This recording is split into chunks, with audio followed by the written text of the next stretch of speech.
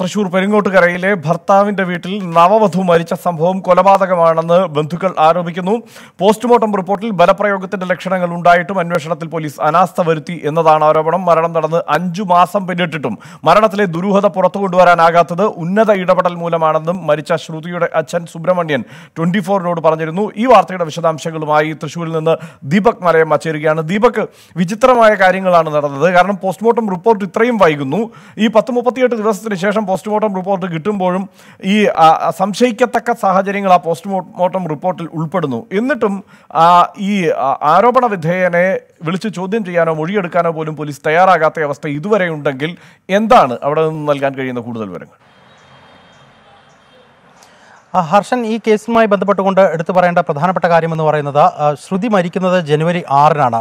ഭർത്താവിന്റെ വീട്ടിൽ അതായത് പെരിങ്ങോട്ടുകരയിലുള്ള വീട്ടിൽ വെച്ച് വൈകുന്നേരം ഏതാണ്ട് എട്ടേ കാലിനും എട്ടേ മുക്കാലിനും ഇടയിലാണ് മരണം സംഭവിച്ചിരിക്കുന്നത് എന്നുള്ളതാണ് പ്രാഥമികമായുള്ള പോലീസ് കണ്ടെത്തിയിരിക്കുന്ന വിവരം. ആ ഒരു വിഷയവുമായി ബന്ധപ്പെട്ട് പോസ്റ്റ്മോർട്ടം നടപടികൾ പൂർത്തിയാക്കിയിട്ടുണ്ടായിരുന്നു. പോസ്റ്റ്മോർട്ടം റിപ്പോർട്ടിൽ കൃത്യമായി കഴുത്തിന് കഴുത്തിനടുത്ത് പാടുകൾ കാണുന്നുണ്ട്. ഒപ്പം തന്നെ മാറിന് താഴെയായിക്കൊണ്ട് നെറ്റിയിലൊക്കെ തന്നെ മുറിവുകളുടെ അടയാളങ്ങളുമെല്ലാം കാണാൻ സാധിച്ചിട്ടുണ്ട്. അതുകൊണ്ട് തന്നെ അത്തരത്തിലൊരു റിപ്പോർട്ട് തന്നെയാണ് പോസ്റ്റ്മോർട്ടം നടത്തിയ ആ, മനു ജോൺ. അദ്ദേഹമാണ് അസിസ്റ്റന്റ് ഫോറൻസിക് സർജൻ നടത്തിയ പോസ്റ്റ്മോർട്ടം റിപ്പോർട്ടിലും പറയുന്നത്. പക്ഷേ ആ പോസ്റ്റ്മോർട്ടം റിപ്പോർട്ട് കിട്ടാൻ തന്നെ ഏതാണ്ട് മുപ്പത്തിയെട്ട് ദിവസം വീട്ടുകാർക്ക് കാത്തിരിക്കേണ്ട ഒരു സാഹചര്യം വരികയും ചെയ്യുന്നു. പക്ഷേ ഒരു പോസ്റ്റ്മോർട്ടം നടപടി പൂർത്തിയാക്കി കഴിഞ്ഞാൽ തന്നെ ആദ്യഘട്ടത്തിൽ അസ്വാഭാവിക മരണത്തിന് കേസെടുത്ത അന്തിക്കാട് പോലീസിന് കൃത്യമായി പ്രാഥമിക വിവരം കിട്ടേണ്ടതാണ്. അങ്ങനെ പ്രാഥമിക വിവരം കിട്ടിയാൽ ഇത്തരത്തിൽ ഒരു പ്രശ്നം ഉണ്ട് എന്നിരിക്കെ കൃത്യമായ തെളിവെടുപ്പിന് മുതിരേണ്ടതായിരുന്നു. എന്നാൽ ആദ്യഘട്ടത്തിൽ തന്നെ പോലീസ് ഇക്കാര്യത്തിൽ കാര്യത്തിൽ വലിയ വീഴ്ച വരുത്തി എന്നുള്ളതാണ്. പെരിങ്ങോട്ടുകരയിലുള്ള ആ, ശ്രുതിയുടെ ഭർത്താവിന്റെ വീട്ടിലെ ശുചിമുറിയിൽ ശ്രുതി കുഴഞ്ഞു വീണു മരിച്ചു എന്നുള്ളതായിരുന്നു ആദ്യഘട്ടത്തിൽ ശ്രു- ശ്രുതിയുടെ ഭർത്താവിന്റെ ഉൾപ്പെടെയുള്ളവർ മൊഴി നൽകിയിരുന്നത്. എന്നാൽ ആ മൊഴിയിൽ നിന്ന് തന്നെ ഒരു അവ്യക്തത നിലനിൽക്കുന്നുണ്ട്. കാരണം ശ്രുതിക്ക് അത്തരത്തിൽ ആത്മഹത്യ ചെയ്യേണ്ട സാഹചര്യമോ അല്ലെങ്കിൽ മറ്റേതെങ്കിലും തരത്തിലുള്ള ആരോഗ്യ പ്രശ്നങ്ങളോ ഉണ്ടായിരുന്നില്ല എന്നുള്ളത് വ്യക്തമാണ്. ഒപ്പം ഇത്തരത്തിൽ ബലപ്രയോഗത്തിലൂടെ അല്ലെങ്കിൽ മർദ്ദം പ്രയോഗിച്ചതിന്റെ അടയാളങ്ങളെല്ലാം തന്നെ കാണാനും ഉണ്ടായിരുന്നു എന്നിട്ട് പോലും പോലീസ് ആ കാര്യത്തിൽ ഒരു വ്യക്തമായ അന്വേഷണം നടത്തിയില്ല എന്നുള്ളതാണ്. പിന്നീട് ഇരിങ്ങാലക്കുട ഡിവൈഎസ്പിയുടെ നേതൃത്വത്തിലുള്ള പോലീസ് സംഘത്തിന് അന്വേഷണ ചുമതല റൂറൽ എസ് പി കൈമാറുന്ന സാഹചര്യമുണ്ടായി. അവിടെ നിന്നും യാതൊരു തരത്തിലും വീട്ടുകാർക്ക് മൊഴിയെടുക്കുന്നതിനുൾപ്പെടെയുള്ള നടപടിക്രമങ്ങളിലേക്ക് പോലീസ് മുതിരാതിരുന്ന സാഹചര്യത്തിൽ എസ് പിയുടെ പ്രത്യേക നിർദ്ദേശം പ്രകാരം തന്നെ സി ബ്രാഞ്ചിലുള്ള ഡിവൈഎസ്പി ഷാ ജോസിന്റെ നേതൃത്വത്തിലുള്ള അന്വേഷണ സംഘത്തിന് ആ കേസ് കൈമാറുകയായിരുന്നു. ആ ഒരു ഘട്ടമാകുമ്പോഴേക്കും കൃത്യമായ തെളിവുകളെല്ലാം തന്നെ നശിപ്പിക്കപ്പെടുന്ന സാഹചര്യം ഉണ്ടായി എന്നുള്ളതാണ് ബന്ധുക്കൾ ആരോപിക്കുന്നത്. ഇത്തരത്തിൽ വലിയ രീതിയിലുള്ള ഒരു ആസൂത്രിതമായ കൊല നടത്തിയ ശേഷം അതിലെ തെളിവ് നശിപ്പിക്കാൻ പോലീസ് ഉൾപ്പെടെ കൂട്ടുനിന്നു എന്നുള്ള ആരോപണമാണ് പ്രധാനമായും ആ, ബന്ധുക്കൾ ഉന്നയിക്കുന്നത്. ഡി ജി പിക്കും മുഖ്യമന്ത്രിക്കും ഉൾപ്പെടെ പരാതി നൽകിയിട്ടും യാതൊരുവിധ അന്വേഷണത്തിനും മുതിരാത്ത സാഹചര്യമുണ്ട് എന്നുള്ളതും ആ, ബന്ധുക്കൾ വ്യക്തമാക്കുന്നുണ്ട്. ഇന്നലെ തന്നെ ഇതുമായി ബന്ധപ്പെട്ടുകൊണ്ട് ശ്രുതിയുടെ ഭർത്താവുമായി നമ്മൾ സംസാരിക്കുന്നുണ്ടായിരുന്നു. ആ ഒരു ഘട്ടത്തിൽ അദ്ദേഹം പറഞ്ഞിരിക്കുന്നതും കേസ് അന്വേഷണം നടക്കുകയാണ്. ഈ കാര്യത്തിൽ കൂടുതൽ കാര്യങ്ങൾ വെളിപ്പെടുത്താനില്ല എന്നുള്ളതാണ്. ഒപ്പം ഒരു കാര്യം കൂടി പറഞ്ഞ് അവസാനിപ്പിക്കാം. ഡിവൈഎസ്പി ഷാജോസുമായും സംസാരിച്ചിട്ടുണ്ടായിരുന്നു. അദ്ദേഹം പങ്കുവെക്കുന്നത് തൊണ്ണൂറ്റി ഒൻപത് ശതമാനത്തോളം ഇതിൽ അസ്വാഭാവികതയുണ്ട് എന്നുള്ളതാണ്. പക്ഷേ കേസ് വളരെ വൈകിയാണ് തന്റെ പക്കലേക്ക് വന്നിരിക്കുന്നത്. അതുകൊണ്ട് തന്നെ ശാസ്ത്രീയമായ തെളിവുകൾ ശേഖരിച്ചുകൊണ്ട് മാത്രമേ ഇനി മുന്നോട്ട് പോകാൻ കഴിയൂ എന്നുള്ള ഒരു നിലപാട് ഇപ്പോൾ ഉള്ള അന്വേഷണ സംഘത്തിന് എടുക്കേണ്ട ഗതികേടും വന്നിരിക്കുന്നു എന്നുള്ളതാണ് വസ്തുത. ദീപക് പക്ഷേ ഈ ഇതിൽ അസ്വാഭാവികത ഉണ്ട് എന്ന് അന്വേഷണ സംഘം നേതൃത്വം അന്വേഷണത്തിന് നേതൃത്വം നൽകുന്ന വ്യക്തി തന്നെ പറയുമ്പോഴും ഈ മൊഴിയെടുപ്പ് വൈകുന്നത് എന്തുകൊണ്ടാണ്? ഇതുമായി ബന്ധപ്പെട്ടുകൊണ്ട് അദ്ദേഹത്തിന്റെ അതായത് ശ്രുതിയുടെ ഭർത്താവ് അരുണിന്റെ വീട്ടിൽ അന്വേഷണ സംഘം പോയിട്ടുണ്ടായിരുന്നു. അവിടെ എത്തിയപ്പോൾ രണ്ട് മുതിർന്ന ആളുകൾ അതായത് അരുണിന്റെ അച്ഛനും അമ്മയുമാണ് വീട്ടിലുണ്ടായിരുന്നത്. ഒപ്പം അരുണിനും ഈ മൂന്ന് പേരെയും സംബന്ധിച്ച് യാതൊരു തരത്തിലുള്ള മറുപടികളും അതായത് ഈ കേസുമായി ബന്ധപ്പെട്ട് ഒന്നും അറിയില്ല എന്നുള്ള നിലപാട് സ്വീകരിക്കുന്നു എന്നുള്ളതാണ് ഡിവൈഎസ്പി പറയുന്നത്. ഒപ്പം തന്നെ ഏതെങ്കിലും തരത്തിൽ സമ്മർദ്ദം ചെലുത്തി പറയിപ്പിക്കാവുന്ന ഒരു സാഹചര്യം നിലനിൽക്കുന്നില്ല. കാരണം സീനിയർ സിറ്റിസൺസ് ആണ് അവർ രണ്ടുപേരും. അത്തരത്തിൽ അവരോട് പ്രതികരണങ്ങൾ ആരായുക സാധ്യമല്ല. ഒപ്പം ഈ മരണം നടക്കുന്ന സമയത്ത് ഭർത്താവ് വീട്ടിലുണ്ടായിരുന്നില്ല എന്നുള്ള ഒരു കാര്യം എടുത്തു പറയുന്നുണ്ട്. അദ്ദേഹം വോളിബോൾ കളിക്കുന്നതിനും ഒപ്പം ജിമ്മിൽ പോകുന്നതിനും വേണ്ടി പുറത്തു പോയിട്ടുണ്ടായിരുന്നു. പക്ഷേ മരണം നടന്ന് അല്പസമയത്തിനകം തന്നെ കൂട്ടുകാരുമൊത്ത് വീട്ടിലേക്ക് എത്തി എന്നുള്ളതാണ് പോലീസ് പറയുന്നത്. ആ വീ കൂട്ടുകാരുമായി വീട്ടിലേക്ക് എത്തിയ സാഹചര്യത്തിൽ ശുചിമുറയിൽ അർദ്ധനഗ്നയായി ഇരിക്കുന്ന സാഹചര്യത്തിലായിരുന്നു ശ്രുതി ഉണ്ടായിരുന്നത്. അവരെ ആശുപത്രിയിലേക്ക് മാറ്റുന്നത് ഈ കൂട്ടുകാരുമൊത്ത് അരുൺ വന്ന വാഹനത്തിൽ മാറ്റാതെ സമയം ചിലവഴിച്ചുകൊണ്ട് മറ്റൊരു ആംബുലൻസ് വിളിച്ചു വരുത്തിയാണ് ആശുപത്രിയിലേക്ക് മാറ്റിയിട്ടുള്ളത്. പാതകം എന്ന് പറയുന്ന തൊട്ടടുത്ത ആശുപത്രിയിലേക്കാണ് മാറ്റിയിട്ടുള്ളത്. അവിടെ എത്തുമ്പോഴേക്കും മരണം സംഭവിക്കുന്ന സ്ഥിതിവിശേഷം ഉണ്ടായിരുന്നു എന്ന് ആ പോലീസ് തന്നെ- പറയുന്നുണ്ട്. എങ്കിൽ പോലും ഈ കാര്യത്തിൽ ഒന്നും തന്നെ ഒരു വ്യക്തമായ മറുപടി നൽകാൻ ഈ മൂന്ന് പേരും തയ്യാറായിട്ടില്ല എന്നുള്ളത് തന്നെയാണ് uh. Uh, ദീപക് ഞാൻ തിരിച്ചു വരാം. ഇപ്പോൾ ശ്രുതിയുടെ ഭർത്താവ് അരുൺ തന്നെ നമ്മോടൊപ്പം ടെലിഫോൺ ലൈനിലുണ്ട് അരുൺ ഈ ആരോപണമൊക്കെ ഉയർന്നത് എന്തായാലും താങ്കൾ അറിഞ്ഞിട്ടുണ്ടാവും. അന്വേഷണം നടക്കുന്നതും അറിഞ്ഞിട്ടുണ്ടാവും. ആ, എത്രയും പെട്ടെന്ന് ഇതിൽ വ്യക്തത വരുത്തേണ്ടത് അരുണിന്റെ കൂടി ഒരു ആവശ്യമാണല്ലോ. അന്വേഷണം പക്ഷേ അരുൺ ഇടപെട്ടുകൊണ്ട് വൈകിക്കുന്നു എന്നതാണ് ശ്രുതിയുടെ കുടുംബത്തിന്റെ ആരോപണം. എന്താണ് സംഭവിക്കുന്നത്? നമ്മളെ നമ്മൾ ഇതുവരെ ആരെയും ബന്ധപ്പെട്ടിട്ടോ നമ്മൾ ഇവർക്ക് ആർക്കും പോലീസുകാർക്ക് പൈസ കൊടുത്തിട്ടില്ല. ഈ സംഭവം നടക്കുമ്പോ നമ്മളൊന്നും അത് വീട്ടിലുണ്ടായിരുന്നില്ല. നിങ്ങളിപ്പോ പറഞ്ഞ ആരോപണത്തിൽ അവളെ കൊണ്ടുപോകാൻ വൈകിച്ചു എന്നാണ് പറഞ്ഞത്. എന്റെ വീടിന്റെ തൊട്ടപ്പുറത്തിന് ആംബുലൻസ് സർവതോപതര ആംബുലൻസ്. ഇത് ഞാൻ ജിമ്മിലുണ്ടായിരുന്നത് എന്റെ ഇവിടെ നിന്ന് വരുന്ന സെന്ററിലൊക്കെ ക്യാമറകളിലും ഇവിടുത്തെ ക്യാമറകളിലെല്ലാം നോക്കി കഴിഞ്ഞു കഴിഞ്ഞാൽ കറക്റ്റ് കാര്യം എന്താണെന്നുള്ള അറിയാൻ പറ്റും. ഈ കുടുംബാംഗങ്ങൾ ഇപ്പോൾ തന്നെ ആരോപിക്കുന്നത് ശ്രുതിയുടെ അമ്മ തന്നെ പറയുന്നത് ഈ സ്വർണമൊക്കെ ആവശ്യപ്പെട്ടുകൊണ്ട് അരുൺ ശ്രുതിയോട് വഴക്കടിക്കുന്നത് കേട്ടിട്ടുണ്ട് എന്ന് തന്നെയാണ്. നമ്മളൊരു ഡിമാൻഡ് ഇല്ലാണ്ടാണ് അവളോട് അവളെ കല്യാണം കഴിക്കാൻ തയ്യാറായിട്ടുള്ളത്. നമ്മളൊരു ഡിമാൻഡ് വേണമെന്ന് അവരോട് പറഞ്ഞായിരുന്നില്ല? അല്ല അങ്ങനെയാണെങ്കിൽ ഇപ്പോൾ ഈ ആരോപണങ്ങൾ ഉയർന്നു വരേണ്ട സാഹചര്യം എന്താണ്? മാത്രമല്ല പോസ്റ്റ്മോർട്ടം റിപ്പോർട്ടിൽ ഈ കഴുത്തിൽ മർദ്ദമേറ്റതിന്റെ മാറിടത്തിൽ മുറിവേറ്റതിന്റെ നെറ്റിയിൽ മുറിവേറ്റതിന്റെ ഒക്കെ പാടുകൾ അടക്കമുണ്ടല്ലോ അപ്പോൾ അങ്ങനെ ഒരു സാഹചര്യം ഉണ്ടെങ്കിൽ അന്വേഷണം ആവശ്യപ്പെടേണ്ടത് ആദ്യം അരുൺ തന്നെയല്ലേ? ഈ ഒരു മാസം കഴിഞ്ഞ പോസ്റ്റ്മോർട്ടം റിപ്പോർട്ട് വന്നിട്ടുള്ളത് മനസ്സിലായോ? അതിൽ തന്നെ അസ്വാഭാവികതയുണ്ടല്ലോ. ഇതിലെന്ന് പറഞ്ഞു കഴിഞ്ഞാൽ നമ്മൾ നമ്മൾ വരുമ്പോ കണ്ട കാര്യമാണ് നമ്മൾ പോലീസുകാരുടെ എല്ലാവരോടും നമ്മൾ പറഞ്ഞു അരുണിന്റെ ഭാര്യയാണ് മരിച്ചത്. പോസ്റ്റ്മോർട്ടം റിപ്പോർട്ട് വരാൻ വൈകുന്നുണ്ടെങ്കിൽ അത് അന്വേഷിച്ച് കാരണം കണ്ടെത്തേണ്ടത് അരുണിന്റെ കൂടി ബാധ്യതയല്ലേ? അതിന് ശ്രമിച്ചിരുന്നോ? ഈ അവരോട് നമ്മൾ അവരുടെ വീട്ടുകാരോട് പോയിട്ട് പോസ്റ്റ്മോർട്ടം റിപ്പോർട്ട് കളക്ട് ചെയ്യാനൊക്കെ നമ്മളെ പറഞ്ഞായിരുന്നത്. അവരതും കൊണ്ട് നമ്മുടെ വീട്ടിലേക്ക് ആദ്യം വന്നിട്ടുണ്ടായിരുന്നത്. ഈ പോസ്റ്റ്മോർട്ടം റിപ്പോർട്ട് ഇത് ഈ കുടുംബത്തിന്റെ ശ്രുതിയുടെ അച്ഛന്റെയും അമ്മയുടെയും ഉത്തരവാദിത്വത്തിന് അപ്പുറത്ത് ഭർത്താവ് എന്ന നിലയിൽ അരുണിന്റെ ഉത്തരവാദിത്തമാണല്ലോ ഇതിലൊരു ദുരൂഹതയുണ്ടെങ്കിൽ അത് തെളിയേണ്ടത്.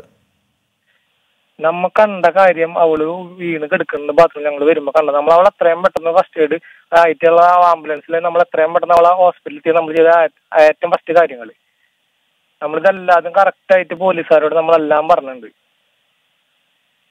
പക്ഷെ അസ്വാഭാവികത ഇതിലുണ്ട് എന്ന് പോലീസ് തന്നെ ധരിക്കുന്നുണ്ട്. ക്രൈംബ്രാഞ്ച് കേസ് അന്വേഷണം ഏറ്റെടുത്തിട്ടുണ്ട്. അന്വേഷണം വൈകുന്നു മൊഴിയെടുക്കൽ വൈകുന്നു എന്നത് മാത്രമാണ് പ്രശ്നം. ആ അന്വേഷണം നടക്കുന്നുണ്ട്. അപ്പോൾ ആ അന്വേഷണത്തിൽ കാര്യങ്ങൾ തെളിയേണ്ടതാണ് എന്ന ബോധ്യം ഉണ്ടല്ലോ. അപ്പോൾ എന്തുകൊണ്ട് അന്വേഷണം വൈകുന്നു? എന്നത് അന്വേഷിച്ചോ? നമ്മളെ നമ്മുടെ ആളെന്ന് പറഞ്ഞാൽ എത്രയും പെട്ടെന്ന് ഞങ്ങളെ നാലാളിൽ ഓണപരിശോധനക്ക് നുണപരിശോധനയ്ക്ക് വിധേയതാക്കാം മനസ്സിലായ? ഈ സയന്റിഫിക് ആയിട്ടുള്ള പോസ്റ്റ്മോർട്ടം റിപ്പോർട്ടിന്റെ ഇതിലാണ് എല്ലാവരും നമ്മളെ കാണുന്നത് കഴിഞ്ഞാൽ നമ്മുടെ മൊഴികളും അതേപോലെ സയന്റിഫിക് ആയിട്ട് നുണപരിശോധന രീതിയിൽ നമ്മുടെ തെളിവ് എടുക്കാൻ നമ്മൾ ഇവരോട് ആവശ്യപ്പെടും നുണ പരിശോധനയ്ക്ക് തയ്യാറാണ് എന്നാണോ അരുൺ പറയുന്നത്. ഞങ്ങൾ ഞങ്ങളുടെ കുടുംബങ്ങളെല്ലാവരും ഞങ്ങൾ നാലാളുകൾ എന്റെ അച്ഛൻ അമ്മ അനിയൻ നുണ പരിശോധനയ്ക്ക് തയ്യാറാവും വിദ്യാഭ്യാസം തയ്യാറാണ്. എന്താണ് ശ്രുതിക്ക് സംഭവിച്ചത് എന്നാണ് അരുൺ കരുതുന്നത്? ഞാൻ വരുമ്പോ എന്റെ കണ്ണ് കണ്ണിൽ കണ്ണിൽ കണ്ടത് ഞാൻ ഓടി വരുമ്പോ എന്റെ അമ്മ പുറത്തേക്ക് ഓടി ഞാൻ ആ ബാത്റൂമിൽ വരുമ്പോൾ അവൾ വീണ് കിടക്കുന്നത് കണ്ടത്. അമ്മയാണോ ആദ്യം കണ്ടത്? അമ്മയാണ് കണ്ടത്. ഞങ്ങളുടെ മൊഴി ഈ വിശ്വാസം ഇല്ലാന്ന് വെച്ചാൽ ഞാൻ പറഞ്ഞത്. നമ്മുടെ മൊഴി നുണപരിശോധനയ്ക്ക് കേൾക്കാം അങ്ങനെ നമുക്ക് പറയാനുള്ള ഏറ്റവും ആദ്യ കാര്യം. പക്ഷേ ഈ പറഞ്ഞ ബാത്റൂമിനുള്ളിൽ അർദ്ധനഗ്നയായി കിടന്ന ശ്രുതിയെ അടുത്ത ഒരു തൊട്ടടുത്ത വാഹനത്തിൽ വളരെ പെട്ടെന്ന് എത്തിക്കാൻ ശ്രമിക്കാതെ ആംബുലൻസ് വരാൻ വിളിച്ചു വരുത്തുകയും അങ്ങനെ തന്നെ പിന്നീട് കൊണ്ടുപോവുകയും ചെയ്യുന്ന സാഹചര്യമുണ്ടായി. ഇതൊക്കെ സംശയാസ്പദമാണ് എന്നാണ് കുടുംബത്തിന്റെ ആരോപണം. ഇപ്പം ആക്ഷൻ കൗൺസിലും ആരോപിക്കുന്നത് അതൊക്കെ തന്നെയാണ്. എന്റെ വീടിന്റെ എന്റെ വീടിനോട് ആംബുലൻസ് ഒരു ഒരു വണ്ടിയിൽ നമ്മുടെ വണ്ടിനേക്കാളും കൂടുന്ന സ്പീഡിനേക്കാളും കൂടുതൽ ആ വണ്ടി പോകും മനസ്സിലായി? എന്റെ വീടിന് നിങ്ങൾ എന്റെ ആൾക്കാർക്ക് ചോദിച്ചു കഴിഞ്ഞാൽ അറിയാൻ പറ്റും. എന്റെ വീടിന് പത്തടി മാറിയിട്ട് ആംബുലൻസ് എടുക്കുന്ന സ്ഥലം. ഒരു അടിസ്ഥാനമില്ലാത്ത ആരോപണമാണ് ഈ കുടുംബം ഉന്നയിക്കുന്നത്. ശ്രുതിയുടെ അച്ഛനും അമ്മയും ഒക്കെ ഉന്നയിക്കുന്നത് എന്നാണോ അപ്പോൾ അരുണിന്റെ ആരോപണം? അടിസ്ഥാനരഹിതമെന്നല്ല ഞാൻ പറഞ്ഞു അവർക്ക് അവ അവ- അവളുടെ മരണത്തിന് കാരണം കണ്ടെത്താൻ അവരെ നൂറ് ശതമാനം അവരെ പറയില്ല അപ്പൊ എന്റെ വീട്ടിലത് സംബന്ധിച്ച് ഞാൻ ഇതേപോലെ ഞാൻ പ്രതികരിക്കുള്ളൂ. തീർച്ചയായും. അപ്പൊ പിന്നെ പോലീസിന്റെ അന്വേഷണം ഇത്രയും ഇഴഞ്ഞു നീങ്ങിയതിന് കാരണം എന്താണ് എന്ന് അരുൺ അന്വേഷിച്ചില്ല. അരുണിന്റെ ഭാര്യയാണല്ലോ മരിച്ചത്. എന്ത്? ഈ പോലീസിന്റെ അന്വേഷണം ഇത്രയും ഇഴഞ്ഞു നീങ്ങിയത് എന്തുകൊണ്ടാണ് എന്ന് അരുൺ അന്വേഷിച്ചില്ലേ? അരുണിന്റെ ഭാര്യയാണല്ലോ മരിച്ചത്. പോലീസിന്റെ അന്വേഷണം ഇഴഞ്ഞു നീങ്ങിയിട്ടും നമ്മൾ പറയുന്നില്ല. ഞങ്ങളെ അത് കഴിഞ്ഞപ്പോ തൊട്ട് ഞങ്ങളെ വിളിച്ചു തുടങ്ങിയിട്ടുള്ളതാണ്. ഈ അന്തിക്കട സി സിയും കൂടി ഒരുപാട് പ്രാവശ്യം വിളിച്ചു ചോദിച്ചിട്ടുണ്ടായിരുന്നു. അത് കഴിഞ്ഞിട്ട് ഞങ്ങൾ ഡിവൈഎസ്പിക്ക് കൈമാറിയ കേസ് അവരും ഒരുപാട് വിളിച്ചു വെച്ചിട്ടുണ്ടായിരുന്നു. അരുണിനെ ഏതെങ്കിലും ഘട്ടത്തിൽ മൊഴിയെടുക്കാൻ പോലീസ് വിളിച്ചിട്ടുണ്ടോ? ഒരുപാട് തവണ വിളിച്ചിട്ടുണ്ട്. എന്നിട്ട് മൊഴി എടുത്തോ മൊഴി എടുത്തിട്ടുണ്ട് പക്ഷേ അങ്ങനെയല്ല എന്നാണ് കുടുംബം ആരോപിക്കുന്നത് ആക്ഷൻ കൗൺസിൽ ആരോപിക്കുന്നത്. അരുണിന്റെ മൊഴി എടുത്തിട്ടില്ല അരുണിനെ ചോദ്യം ചെയ്യുന്ന സ്ഥിതി ഉണ്ടായിട്ടില്ല എന്ന്. എന്റെ ഒക്കെ മൊഴി അവിടെ എടുത്തിട്ടുള്ളതാണ്. എന്റെ എല്ലാ വീട്ടുകാരെയും എന്റെ കൂടെ ഞാൻ താങ്കളിലേക്ക് തിരിച്ചു വരാം. ഈ ആക്ഷൻ കൗൺസിൽ പ്രതിനിധിയായ സുബിൻ കൂടി ഇപ്പോൾ നമ്മോടൊപ്പം ചേരുന്നുണ്ട്. സുബിൻ ഈ അരുൺ തന്നെ ഇപ്പോൾ പ്രതികരിക്കാൻ തയ്യാറായിട്ടുണ്ട്. ഈ പ്രതികരണങ്ങളിൽ തൃപ്തികരമായ കാര്യങ്ങളാണോ അരുൺ പറയുന്നത്? ഇതിൽ വളരെ വ്യക്തമായ കുറെ കാര്യങ്ങൾ അടങ്ങിയിട്ടുണ്ട്. ഈ ഒരു മരണം കുഴഞ്ഞു വീണ് മരിച്ചു എന്നുള്ള രീതിയിലാക്കാനുള്ള ശ്രമങ്ങൾ ആദ്യം തൊട്ട് ശ്രമിച്ചിട്ടുണ്ട്. ഒറ്റ കാര്യം ഞാൻ പറയാം. ഒരു പോലീസിന് ഒരു ഒരു ശരീരം കിടക്കുന്നത് കണ്ടാൽ തിരിച്ചറിയാൻ പറ്റാത്ത ഒരു പോലീസാണ് നമ്മുടെ പോലീസ്. കഴുത്തിലേറ്റ പരിക്ക് ഇതൊക്കെ പോസ്റ്റ്മോർട്ടം റിപ്പോർട്ടിൽ രേഖപ്പെടുത്തിയിട്ട് എങ്ങനെയാണ് കുഴഞ്ഞു വീണ് മരിച്ചു എന്നുള്ള രേഖപ്പെടുത്താൻ കാരണം. അതാണ് ഇവിടെ ചോദ്യം വരുന്നത്. നമുക്ക് ഏറ്റവും അത് അറിയേണ്ട അതുകൊണ്ടാണ് നമ്മൾ വീട്ടിൽ കൊണ്ടുവന്നിട്ട് ഈ ബോഡി ദഹിപ്പിക്കുക പോലും ചെയ്തത്. പോലീസ് ആദ്യം തൊട്ട് പറഞ്ഞത് കുഴഞ്ഞു വീണ് മരിച്ചു എന്നാണ്. വളരെ ശക്തമായിട്ടുള്ള തെളിവുകൾ ശരീരത്തിൽ നിൽക്കുമ്പോൾ തന്നെ ഇത്തരം കാര്യങ്ങളിലേക്ക് എങ്ങനെയാണ് പോലീസ് പോലീസിന്റെ ഭാഗത്തുനിന്നുള്ള അനാസ്ഥ ആദ്യം തന്നെ ആ കാര്യത്തിൽ ഉണ്ടായിട്ടുണ്ട് സയന്റിഫിക് ആയിട്ടുള്ള തെളിവുകൾ ഈ ബാത്റൂമിൽ നിന്ന് എടുക്കാനായിട്ടോ അല്ലെങ്കിൽ അവിടെ നിന്ന് പരി- പരിശോധിക്കാനായിട്ടോ പോലീസ് തയ്യാറായിട്ടുണ്ട്. ഈവൻ വസ്ത്രം പോലും കുട്ടിയുടെ വസ്ത്രം പോലും ഇവിടെ നിന്ന് ഞങ്ങൾ കൊണ്ടുകൊടുക്കുക ചെയ്ത് ഏറ്റവും വളരെ അറിയാലോ ഇത്തരത്തിലുള്ള കാര്യങ്ങൾക്ക് സയന്റിഫിക് ആയിട്ടുള്ള തെളിവുകളായിട്ട് ആദ്യം ഹാജരാക്കേണ്ടത് വസ്ത്രം പോലുള്ള കാര്യങ്ങൾ പോലും ശേഖരിക്കാനായിട്ട് പോലീസിന്റെ ഭാഗത്തുനിന്ന് അനാസ്ഥ വന്നിട്ടുണ്ട്. അത് അതാണ് ഞങ്ങൾ ഏറ്റവും ആദ്യം പറയുന്നത്. ഒരു വീട്ടിൽ മരണം സംഭവിച്ചു. പെട്ടെന്നുണ്ടായ ഒരു ഇൻസിഡന്റ് അത്തരത്തിലുള്ള സമയത്ത് മാറിയിട്ടാലും ഇരുപത് അടിമാരിട്ടായാലും വീട്ടിലുള്ള ഒരു വാഹനം പെട്ടെന്ന് ഒരു കുട്ടീനെ ഒരു വണ്ടിയുടെ കാറിന്റെ ബാക്കിലിരുത്തി കൊണ്ടുപോകാനായിട്ട് എന്താണ് ബുദ്ധിമുട്ടുള്ളത്? തൊട്ടടുത്ത ഹോസ്പിറ്റലിലേക്ക് എത്താൻ എന്താണ് ബുദ്ധിമുട്ടുള്ളത്? ഒരു വസ്ത്രം നീങ്ങിക്കെടുക്കുന്നത് ആൾക്കാരെ ബോധിപ്പിക്കാൻ വേണ്ടിയിട്ടല്ലേ? അത് അത്തരത്തിൽ ഈ ബാത്റൂമിൽ എന്തെങ്കിലും ഹാങ്ങിങ്ങിന്റെ ഒരു സംഭവം ഇപ്പൊ ആത്മഹത്യയാണെന്ന് പറയുന്നു. ഇവർ ബെഡ്റൂം മുകളിലാണ് താഴത്താണ് ബാത്റൂം. ഈ താ മുകളിൽ ഇത്ര തര- തരത്തിൽ ഹാങ് ചെയ്തൊരു കുട്ടി താഴത്ത് വന്നിട്ട് ബാത്റൂമിൽ ഈ ഒരു രീതിയിൽ ഇരിക്കുമോ ബാത്റൂമിൽ ഇവർ വസ്ത്രം നീക്കത്തില്ല ആ കുട്ടി ബാത്റൂമിൽ ബാത്റൂം യൂസ് ചെയ്യാൻ വേണ്ടി ഇരിക്കുന്നതാണ് പറയുന്നത്. അത്തരത്തിലാണ് നമ്മൾ തെറ്റിദ്ധരിപ്പിച്ചിട്ടുള്ളത്. അപ്പൊ അത്തരത്തിൽ തെറ്റിദ്ധാരണ എല്ലാവരുടെ അടുത്തും പരത്തിയതാണത്. ഇതിപ്പോ ആത്മഹത്യ ചെയ്യാൻ ശ്രമിച്ച കുട്ടിക്ക് എങ്ങനെയാണ് മുകളിൽ ബെഡ്റൂമിൽ ഒരു കുട്ടി താഴത്ത് വന്നിട്ട് ഇത്തരത്തിൽ ബാത്റൂമിലേക്ക് ഇറങ്ങി വരാൻ കഴിയുക? സയന്റിഫിക് ആയിട്ടുള്ള കാര്യങ്ങൾ നമുക്ക് വേണം ഈ കാര്യത്തിനോട് ബന്ധപ്പെട്ടിട്ട് എത്തരത്തിലുള്ള ഏത് തരത്തിലാണ് മരണം സംഭവിച്ചത്? കഴുത്തിലുള്ള ഈ പോലീസ് പല ആവർത്തി പല ആവർത്തി അരുണിന്റെ മൊഴിയെടുത്തിട്ടുണ്ട് എന്നാണ് അരുൺ വിശദീകരിക്കുന്നത്. അത് ശരിയാണോ? ഇത് ഈ ഇപ്പുള്ള പോലീസിന് അതായത് ഈ ക്ര- ബ്രാഞ്ചിലേക്ക് മാറിപ്പോയതിനു ശേഷം ഏത് തരത്തിലുള്ള മൂവ്മെന്റ് അവർ നടത്തി എന്നുള്ളത് നമുക്ക് കൃത്യമായിട്ടുള്ള അറിവുകൾക്ക് അവർ അത് തരില്ല. അത് കേസന്വേഷണത്തിന്റെ ഭാഗം കൂടിയാണ്. അത് ഞങ്ങൾ അത്തരത്തിൽ അവർ മൊഴിയെടുക്കുന്ന കാര്യങ്ങളും നമ്മുടെ അത്ര സ്ഥിരീകരിച്ച് പറയുന്നില്ല.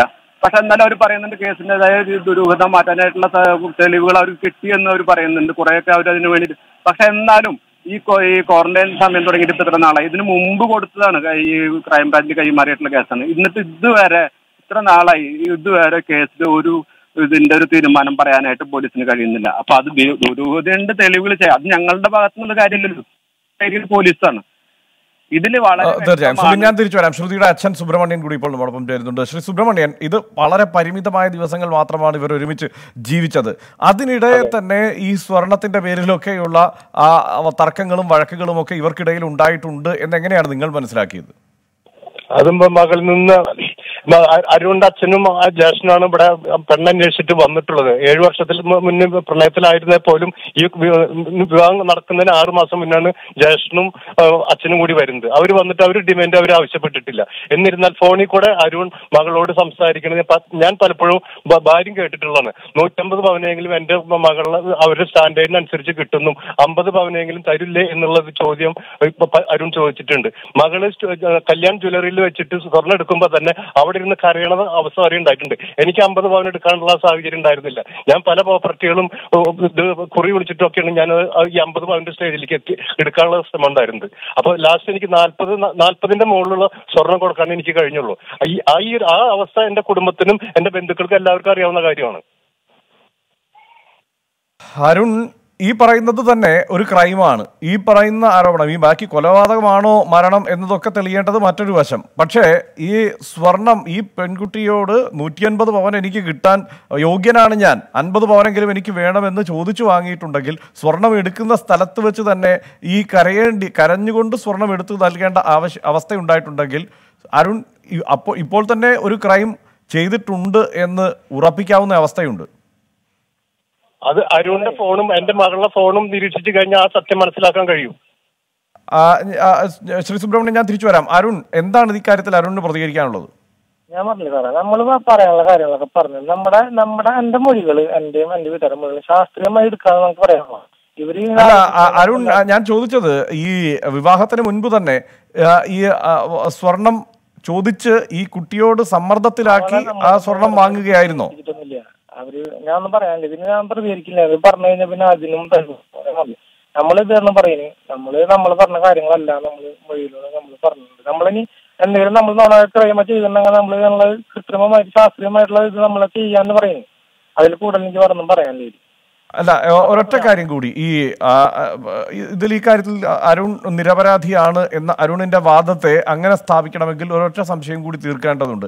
ഒന്ന് ഈ കഴുത്തിൽ മർദ്ദമേറ്റ പാട് നെറ്റിയിലെ മുറിവ് മാറിലെ മുറിവ് ഈ മുറിവൊക്കെ ഈ അരുൺ അരുണിന്റെ ശ്രദ്ധയിൽപ്പെട്ടിരുന്നോ? ഞാൻ ശ്രദ്ധിച്ചിട്ടില്ല. അപ്പൊ പോസ്റ്റ്മോർട്ടം റിപ്പോർട്ട് വന്നപ്പോൾ മാത്രമാണ് അത് അരുണിന് മനസ്സിലാക്കാൻ കഴിഞ്ഞതെന്നാണ് അരുൺ വാദിക്കുന്നത് അല്ലേ? ആ റിപ്പോർട്ടിൽ കണ്ടപ്പോഴാണ് നമ്മൾ പറയുന്നത് നമ്മൾ മനസ്സിലായിട്ടുള്ളത് അതിന് മുമ്പേ നമ്മളോട് സ്റ്റേഷനെ വിളിച്ചിട്ടുണ്ടായിരുന്നു. അപ്പോൾ അരുണിന് സംശയം തോന്നിയില്ലേ? ഇതൊക്കെ എങ്ങനെയാണ് ഇങ്ങനെ മുറിവുകൾ ഉണ്ടാവുക എന്ന സംശയം തോന്നിയില്ലേ? മുറിവുകൾ എന്ന് പറഞ്ഞ കഴുത്തിന്റെ രണ്ട് സൈഡിലും ഓരോ പാടുകൾ ഉണ്ടായിരുന്നു എന്ന് പറഞ്ഞത് നമ്മൾ അത് എനിക്ക് എന്റെ ആന്റിക്കാട് സ്റ്റേഷനിൽ എനിക്ക് കാണിച്ചു തരുന്നത് പാടുകൾ അതിനെ കുറിച്ച് നമുക്ക് എങ്ങനെ ഉണ്ടായിരുന്നുള്ളത് നമുക്ക് അറിയില്ല. നമ്മൾ അറിയില്ലെങ്കിൽ സ്വന്തം ഭാര്യയ്ക്ക് ഭാര്യയുടെ മരണം സംഭവിച്ചു കഴിഞ്ഞു. ഇത് എങ്ങനെയാണ് സംഭവിച്ചതെന്ന് അന്വേഷിക്കാനുള്ള ഒരു ഒരു വെപ്രാളം ഉണ്ടാവില്ലേ? സാർ അന്വേഷണം നടക്കണ്ടല്ലോ. നമ്മൾ അന്വേഷണങ്ങൾ സഹകരിക്കില്ല നമ്മൾ ഒരിക്കലും അവ- അവരെ സഹകരിക്കാണ്ടിരിക്കില്ല. നമ്മളതിലും കൂടുതൽ എന്താ ചെയ്യാ ഒന്ന് പറഞ്ഞു നിങ്ങൾ.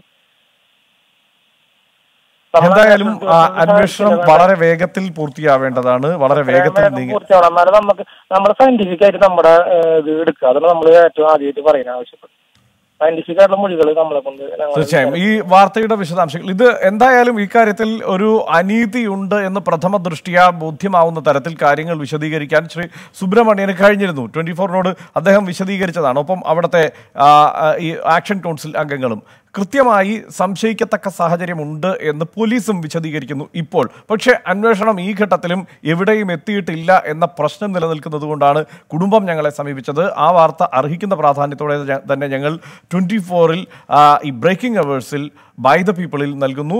ഇനി ഇത് ഈ വാർത്തയുടെ വിശദാംശങ്ങൾ നമ്മൾ ന്യൂസ് ആഫ്റ്റർനൂണിലും പരിശോധിക്കും. ഈ വാർത്തയിൽ ഒരു തീരുമാനം എന്താണ് ഉണ്ടാവുക എന്നത് ഞങ്ങൾ കാത്തിരിക്കുകയും ചെയ്യും.